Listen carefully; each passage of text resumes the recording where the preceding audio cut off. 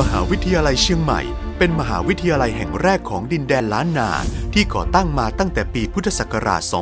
2507 ปัจจุบันดำเนินการมาแล้วเป็นเวลา 57 ปี โดยกำหนดวิสัยทัศน์ว่า มหาวิทยาลัยชั้นนำที่รับผิดชอบต่อสังคม และการพัฒนาที่ยั่งยืน มีพันธกิจหลัก 4 ด้านคือ 1. ให้การศึกษาส่งเสริมวิชาการและวิชาชีพชั้นสูง 2. ทำการวิจัยเพื่อความเป็นเลิศทางวิชาการ และเกิดประโยชน์แก่สังคมเป็นส่วนรวม 3. บริการวิชาการ และ 4. ทำนุบำรุงและส่งเสริมศิลปะวัฒนธรรม และอนุรักษ์สิ่งแวดล้อม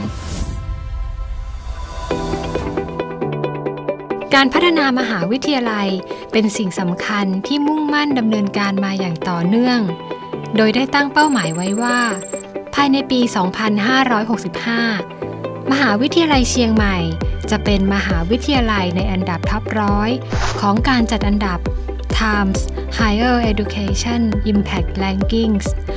และในความก้าวหน้าของมหาวิทยาลัยเชียงใหม่ หวังให้เกิดผลกระทบทางเศรษฐกิจและสังคม ต่อจังหวัดเชียงใหม่และเศรษฐกิจภาคเหนือ คิดเป็นมูลค่ารวมจำนวน 16,500 ล้านบาท มุ่งการบริหารสู่ความเป็นเลิศ ในปี 2565 ด้วยรางวัลมาตรฐานคุณภาพแห่งชาติ TQA เพื่อมุ่งมั่นให้ได้ตามเกณฑ์เอสเปก350 หรือเทียบเท่ารางวัล TQC ปัจจุบัน มหาวิทยาลัยเชียงใหม่ดำเนินการตามแผนพัฒนามหาวิทยาลัย ระยะที่ 12 พุทธศักราช 2560 ถึง 2565 สนับสนุนการขับเคลื่อนเป้าหมายการพัฒนาที่ยั่งยืน Sustainable Development Goals SDG พร้อมทางมุ่งผลิตบัณฑิตที่มีคุณธรรม คุณภาพ มีทักษะการเป็นพลเมืองโลก สนับสนุนโอกาสในการเรียนรู้ตลอดชีวิต การจัดการศึกษาเพื่อลดความเหลื่อมล้ำ การวิจัยและนวัตกรรมที่ตอบโจทย์การพัฒนาประเทศ และการบริการวิชาการที่เกิดประโยชน์แก่สังคม ชุมชนท้องถิ่น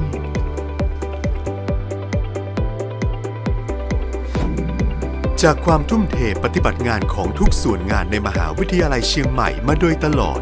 ส่งผลให้เกิดผลงานโดดเด่นที่สร้างสรรค์ จากการดำเนินงานตามยุทธศาสตร์ของมหาวิทยาลัย ภายใต้การเชื่อมโยงของเป้าหมายการพัฒนาที่ยั่งยืน